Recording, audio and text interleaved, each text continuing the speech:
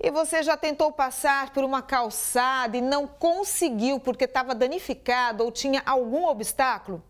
Pois é, esse é um tipo de problema comum em muitas cidades. Em Presidente Prudente, só neste ano, a Prefeitura notificou mais de 1.400 imóveis por irregularidades e tem até árvore impedindo passagem do pedestre. Na divisão do espaço, a árvore tomou conta da calçada.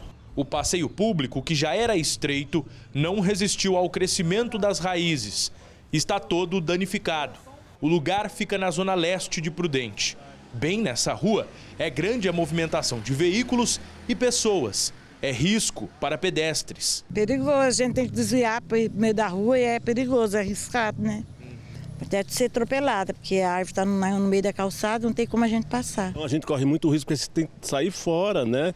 E senhoras, né? Senhores igual eu de idade, principalmente, para subir naquela calçada cheia de deficiência, é perigoso até levar um tombo e se machucar. Essa árvore aqui é um problema muito sério. Além das pessoas terem que sair para a rua, que é uma rua que os carros descem em alta velocidade, ela prejudica também a visibilidade de quem vem dos mercados aqui que não dá a visão para os carros que vêm descendo aqui a Mendes Moraes. Ainda que haja políticas públicas para desenvolver acessibilidade e melhorar o espaço urbano, o desafio está em todo canto. Nem é preciso ser especialista para notar, em muitos pontos, como as calçadas estão ruins ou nem existem. A Priscila, que é cadeirante, sofre para onde quer que vá.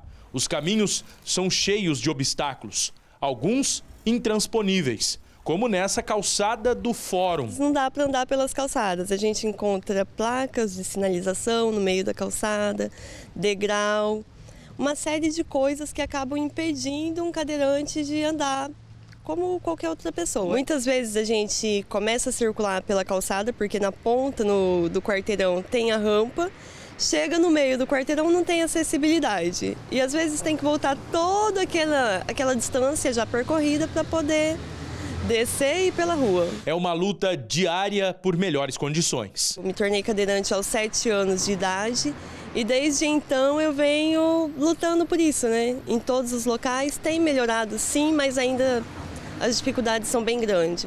O que a gente quer não é um benefício a mais, a gente quer apenas os mesmos benefícios que qualquer outra pessoa tem. A Secretaria de Planejamento disse que vem trabalhando para tentar melhorar a qualidade desses espaços e dar acessibilidade e notificou mais de 1.400 imóveis por irregularidades nas calçadas de janeiro a maio desse ano.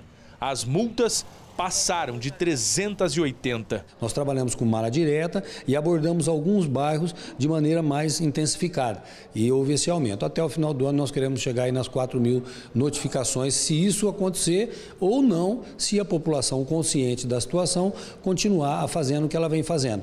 É, fazendo a calçada, consertando os danos, reparando. Quanto às árvores, deve ser um esforço conjunto que envolve poder público e população Ainda assim, aqueles que forem notificados por danos nas calçadas podem recorrer à Secretaria de Meio Ambiente. Já foi feito vários pedidos para tirar essa árvore e até hoje não foi resolvido o problema. Nós não sabemos se a demanda da prefeitura é grande para resolver esse problema, mas no caso principalmente dessa árvore aqui, é um caso muito sério que está correndo risco de acidente para as pessoas.